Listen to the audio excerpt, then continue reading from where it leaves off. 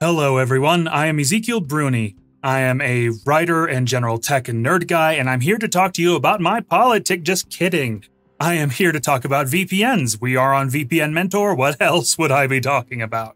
I want to talk about two very popular VPNs that, that are both pretty great on paper. Specifically, I want to talk about CyberGhost and Surfshark.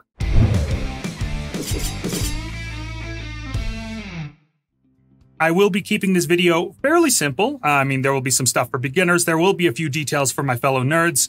Please consider liking, subscribing, hitting the notification bell icon, commenting, all that good stuff to help us with the almighty algorithm. Also, keep an eye on this channel going forward because we will have a lot of tips and tricks and how-tos, other reviews, and other VPN comparisons all coming up, as well as some useful links in the description, such as a link to our full CyberGhost review with the results of every test we ran on it, and a full complete list of every feature. All right, with that all said, it's time to get into this. Let's go. And here we are. We're looking at the interfaces right now. This is CyberGhost. Uh, generally easy. You just kind of you can look at your favorite servers. You can search through all the servers. It also has uh, servers with dedicated IP addresses, but they also have specific servers for gaming and servers for torrenting which has a greater range of uh, countries to choose from, and streaming.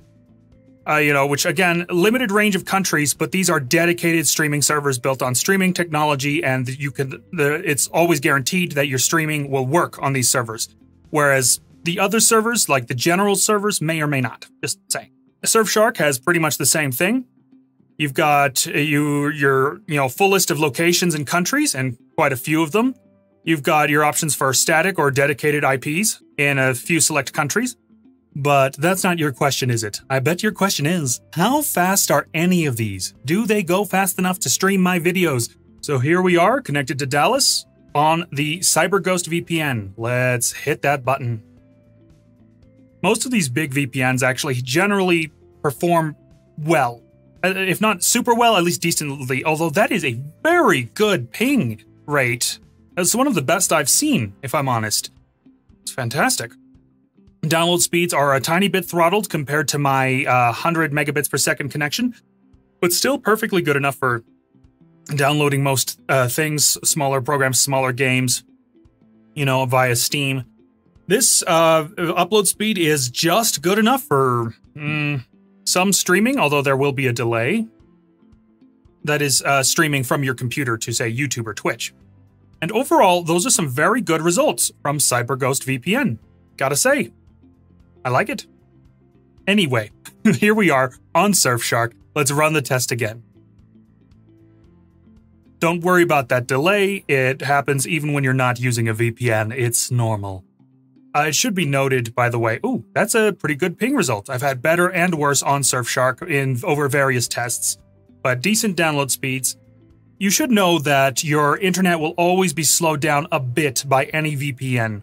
How much that slowdown is, you know, how much it slows down is dependent on the server you're connecting to, the technology it's running on, uh, where your computer is, where the server is, and a million other factors. So your mileage will vary no matter what VPN you're using. Don't worry about that. Now, that upload speed is pretty solid. And those are some pretty great results, all things considered. So, you know, Surfshark is pretty great on paper. But there are a couple of things you should know. Let's start uh, tallying up scores, and I'll tell you all about them. So, uh, for those scores, I've got to say, CyberGhost definitely has the better user interface. The text is a bit bigger and easier to read, the whole thing is a bit more spaced out, so you can really see what you're doing. Surfshark, I've got to say, is kind of annoying to read, even for me. I, last time I checked, I had 2020 vision, and that small text is annoying. Not a complete deal breaker, but definitely annoying. So I've got to give it to CyberGhost for the user interface, even though they are both pretty simple and easy to use. Another place where I have to uh, give it to CyberGhost is in the servers. Now, while both services, and here's a point for each, have very fast performance, uh, you know, in my tests, you know, me in Mexico City connecting to Dallas, it should be noted that CyberGhost has a lot more servers in a lot more countries. Specifically, it has 7,500 servers in 91 countries. Surfshark only has about 3,200 servers in only 65 countries. Now, the more important statistic in that whole thing is actually the 91 countries, because that means you're more likely to find a server that's close to you for the fastest possible connection if that's what you're looking for. So again, CyberGhost will have to get the point there. Now, one category where Surfshark actually definitely wins is in split tunneling. Surfshark does allow you to do this, so point for them. CyberGhost only allows split tunneling on their Android version for some reason. For resource usage, though, CyberGhost wins again because Surfshark uses 155 megabytes of RAM with the window open and 75, uh, or not, not 70, 70 megabytes of RAM with it closed. CyberGhost only uses 32 megabytes of RAM with the window closed, that is, and 150 with it open. All tests were run on Windows 11, which shouldn't make much of a difference, but I'm just throwing the data out there just in case. Now, let's talk about what everyone really wants to talk about. Let's be. That's right, I'm talking about streaming. So you're traveling abroad, you decide, hey, I want to see some of those good old shows from home and you look on Netflix and oh, well, the country you're in doesn't have access to that show. Hmm, how do, what do you do? Well, you log on to your VPN. Right now, I am testing Netflix and HBO Max via Surfshark right over here. I'm connected to the Dallas server again, and let's just hit up. Ooh, the Cowboy Bebop anime. Ah, uh, I haven't watched this in a while, but I do like it. Now, um, Surfshark will let you connect uh, to the streaming services via pretty much any server. And oh, look. okay, so this doesn't always happen. I need you to understand um, this can happen to any VPN. Uh, I'm doing a terrible example of uh, showing off Surfshark here. Ah, and this is where we run into the other problem. When you connect and disconnect a couple of times, sometimes Surfshark can stop working. It might work this time. I'm hoping not. But there is a bug where it can leave your computer, even when you disconnect entirely, unable to connect to the internet until you reboot. This is a massive bug for me. I do not like it. I'm not going to dock at any points, but I may need to restart my computer now. Yes, I need to restart my computer. Just give me a second. Okay, so that's something that can happen to any VPN on their regular servers. I am now connected to uh, Surfshark again on the United States New York server, and there we go. It's playing just fine. The video quality looks fine, all the way from Mexico to New York. So that's not bad. But uh, what you saw earlier are a couple of examples of things that can go wrong. Uh, the first, again, on any VPN service without the dedicated media streaming service. And the second thing is a bug that's definitely all Surfshark. You have to reboot sometimes just to be able to access the internet at all. It's very annoying. But while we're here, let's go ahead and load up HBO Max. Alright, it took a minute to load, but here we are on HBO Max with Batman the Brave and the Bold, one of my favorite cartoons of all time. Again, the quality's pretty good, and once the video actually starts up, there are a few problems. Okay, I am now connected via CyberGhost, and let's refresh the page on both services. So far, so good. I'm using one of the dedicated streaming servers that are meant to be fast, meant to be smooth, and most importantly, meant to always work. This is supposed to be a Netflix optimized server specifically, but it should work for other streaming services as well, in theory. Let's just give it a try real quick. But there it is working just fine. Takes a second for the quality to kick in, but otherwise, everything's a okay.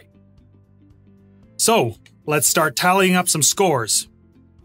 Okay, for general streaming, I have to give it to both services because they will both let you stream on just about any server you can connect to, provided that server hasn't been blocked by the specific streaming service you want to use. Um, but I have to give CyberGhost an extra point for having those uh, streaming specific servers, as well as the ones for gaming and all that other good stuff, because uh, they're more reliable. They're guaranteed to work, even if they are available in fewer countries. By the way, if you want uh, to watch a tutorial on how to see Netflix from anywhere, we do have a tutorial for that on this channel, link in the description, or possibly in the video title cards at the end.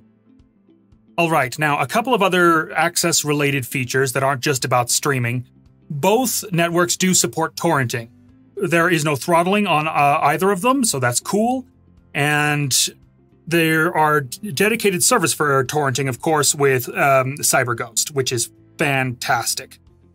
Uh, Surfshark does restrict torrenting in uh, countries where torrenting is illegal, but if you've connected from your country to one of those uh, countries where it's illegal, uh, the Surfshark will actually redirect your uh, torrent traffic to a torrent friendly server in a place like Canada or the Netherlands.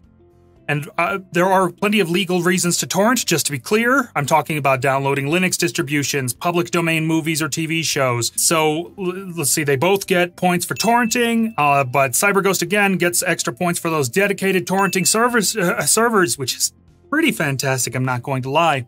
Uh, CyberGhost does not work when you're in China. Surfshark does. So Surfshark gets a point there. However, CyberGhost gets a point for the having a very rare feature, and that is it has servers in China. That is, so when you're outside China, you can use those servers to access Chinese content if you so desire. It's a very rare feature and it's pretty cool. Speaking of VPNing into or out of places like China, let's talk about security real quick. Now, regarding security, there's not a lot to actually show you, so I'm just going to go over these points as quickly as I can. Uh, both have a variety of security protocols, that is, uh, methods of encrypting and transferring information back and forth to the servers. Some prioritize speed and in, uh, video streaming, that sort of thing. Others prioritize security. So, you know, th- but they both have a variety of options. They both also have kill switches, which prevent any of your internet traffic from leaking if, say, your VPN gets disconnected temporarily. So, both get points for both of those features. Uh, neither of them have any URL logging, so that's also fantastic. However, you should know that sometimes governments can force them to track you anyway. At least they won't track you in general, but if the government comes with a warrant, they can enforce them to track you specifically anyway.